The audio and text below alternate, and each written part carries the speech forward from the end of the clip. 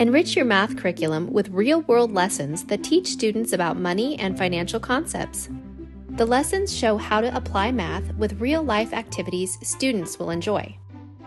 Money related word problems encourage critical thinking and analysis skills. Topics include earning money at a job, making and following a budget, raising money to help others, starting a business, and more. Engaging stories and vocabulary activities introduced key financial terms and concepts. Collaborative games help students connect real world experiences to their learning. Math manipulatives and visual aids help students apply skills. Motivate your students to learn important life skills with financial literacy lessons and activities.